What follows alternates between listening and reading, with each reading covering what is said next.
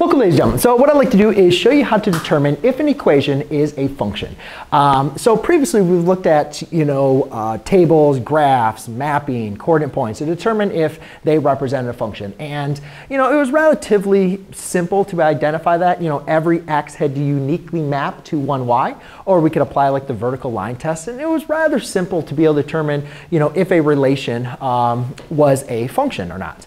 So now what we're going to be doing is looking at uh, equations. And basically what we're going to try to do is solve for y uniquely. And as long as y can be solved uniquely, then we know that for every x value that we enter into the equation, or at least every uh, independent value, that our y value is going to be unique. Um, and we'll come across, I'll kind of talk about some problems where we start seeing when the, um, when the equation starts to not be a function. But the first step we really want to do for all of these problems, we're going to basically be, be going through the same process, and that is to isolate the y and make sure that it can be solved uniquely.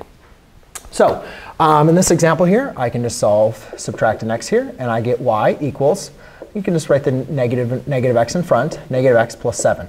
And therefore, that is, um, I have solved for y uniquely. For every x value, doesn't matter whatever number I plug in for x, right? That's my independent variable, y is my dependent. For any value I plug in for x, I'm always going to get one unique answer for y.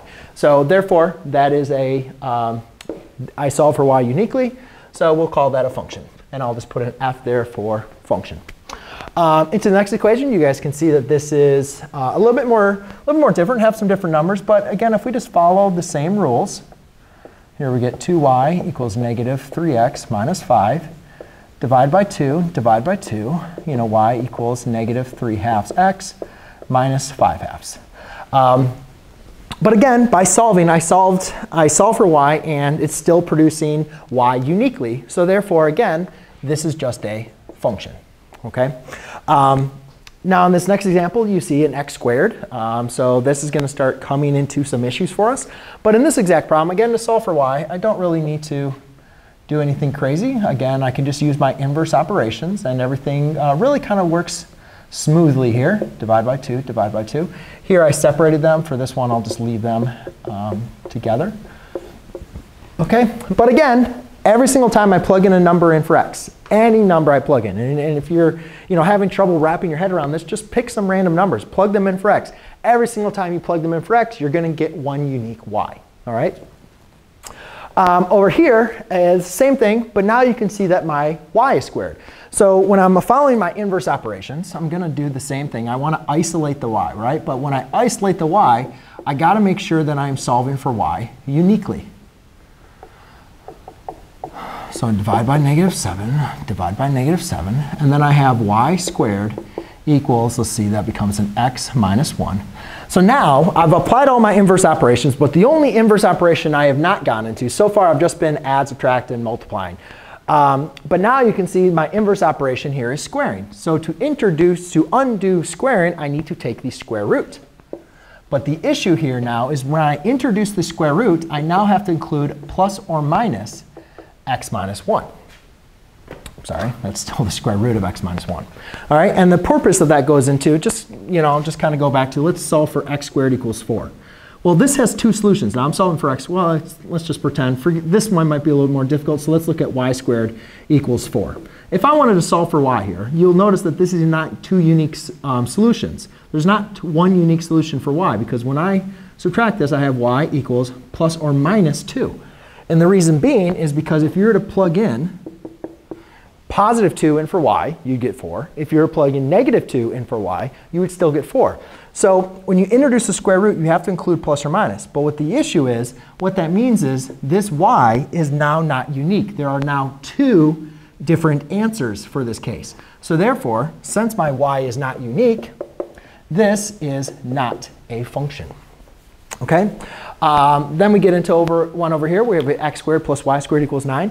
Hopefully, maybe in geometry class, you remember what this function looks like. Um, this would actually provide a function of a circle. So if you actually know with a radius of 3, you would actually already know that this does not pass the vertical line test. However, if we just wanted to look at this, let's, you know, again, do the same thing. Subtract the x squared on both sides. And we'd have y squared equals, uh, let's do 9 minus x squared. And again, I have to undo the squaring. So when I undo the squaring, I have to, in, I have to do plus or minus y equals plus or minus the square root of 9 minus x squared. So again, since I do not have a unique y because there's two solutions, that is not a function. So the correlation that I want you to see is um, as long as y is linear right now, so far what we've determined, as long as y is linear, we're good. It's a function. Doesn't matter really what x is, but as long as y is linear, it's good. When, when y is quadratic, or hence raised up to an even power, it's not going to be, um, well, at least it's when quadratic, it's not going to be a uh, function, okay? Because therefore, taking the square root, as I mentioned over here, is going to produce two different results. So therefore, our y is not unique. Over here, we see we have another square root. Kind of a little interesting. Uh, this is actually a very common function uh, that, or sorry, didn't want to give it away. But this is a very common equation that we will see um, quite a bit. Um, but without graphing, if you don't know what the graph looks like, let's just use, what did I doing? Why am I always solve for this? Oh, OK, all right, well, I, yeah, I guess that was the problem here. So in this example, I was getting ahead of myself.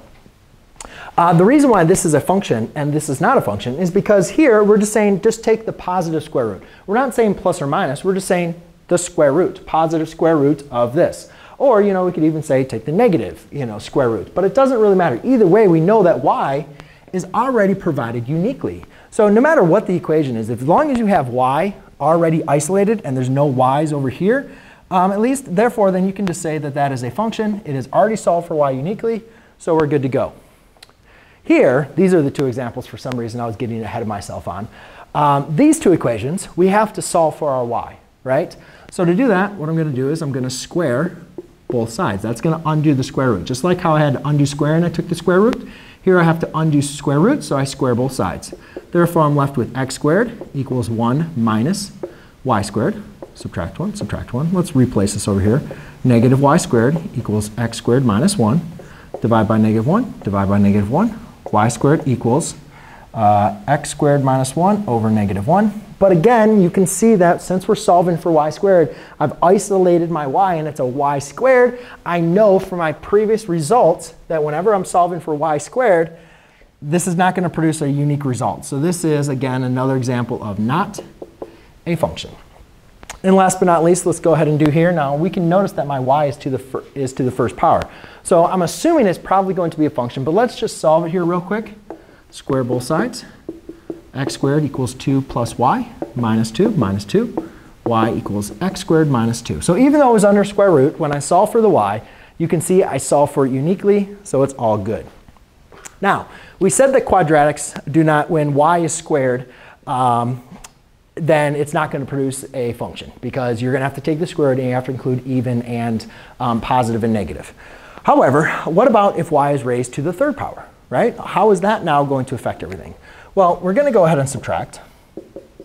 And therefore, we have y cubed equals negative x minus 1. Now, when we take the cube root to undo cubing, we'll have y equals the cube root of negative x minus 1. Now, the important thing about this is this actually is a function. And the reason why comes into the understanding of uh, the understanding of cube roots, how they compare from square roots. So let's look at, again, x squared, or I'm sorry, let's do y y squared equals 8. I'm sorry, not y, 4. So when I go ahead and solve this, y equals plus or minus 2. Well, then let's look at y cubed equals 8 and y cubed equals negative 8. When I take the cube root here, so I take the cube root of both sides, I get y is equal to positive 2 because the only number that multiplies by itself three times to give me positive 8 is positive 2. In the same respect, when I take the cube root of negative 8, I get y equals negative 2. Because negative 2 is the only number that I multiply by itself three times to give me negative 8. So what happens is, when it's odd, I'm solving for y uniquely. But when it was squared, uh, solving for y is not unique. So therefore, y, the summary that we need to understand is y raised to any odd power is going to be unique when solving for it. So therefore, it is going to produce a function. However, when you have a y raised to a even power, it's not going to produce a function uh, when you go ahead and solve for it. All right, so therefore, we can say that this is a function. Now let's move to the next one. Now we have two y's. And usually when we'd want to solve for y's, this kind of produces a problem because, well, if we look at this, uh, we can't combine these two y's. However, there's two ways to combine like terms. It's either combining combine like terms, uh, uh, combining them with like terms, I guess I have on saying that three times, or factor out a common term. So if I factor out a y, I get x minus 2 equals 1. Now I can divide by 2, or x minus 2, and I get y equals 1 over x minus 2. And that is solved uniquely, so we're all good. Uh, and the next one, now we're going to investigate absolute value. And again, remember, absolute value is like the absolute distance away from 0. So I'll get into that uh, a little bit more explanation here um, for on the second problem. But for the first problem, I think we're going to solve this using our inverse operations. And actually, what I'm going to do here is I'm just going to get the y to the other side so I don't have to deal with negatives. And just by using my inverse operations, you can see that I can easily solve for y uniquely. So that is now a function. And that was a function too. I just forgot to write it. Um, but now on the last one, let's go ahead and look at here because now we have a little issue. We need to undo this function. So the best way to you know, look at, oops, yeah, 2 minus x. So the best way to be able to kind of look at this, if you remember solving for absolute value equations, let's, uh, well, let's look at um, solving absolute value equations like absolute of y equals um, 4. Now, what could be the values of y that equal 4? Well, unlike the square roots where your inverse operation, we know that absolute value y could be y could equal 4 because if I plugged in 4 in for y, absolute value 4 is 4. Also, though, y could equal negative 4 because if I plug negative 4 in for y, absolute value of y is still equal to 4. So what happens is, is that if I want to undo, I want to solve for y, what I need to do to undo the absolute value, I basically need to create two solutions where y equals 2 minus x and y equals the opposite of 2 minus x. So what happens is by solving for y, by undoing the absolute value, I need to create two different cases. So therefore, y is not unique anymore because now I have two cases just like I had two cases over here. So therefore, when you have y raised to a even power, 2 to 2, it is not a function. When you have y inside an absolute value function, it is not a function. 2, 2, 2, 2. Not a function. So for this video, that is the basic summary that I want you to take away. I hope you learned something, and I hope you uh, continue working hard, learning, and staying curious. Thanks.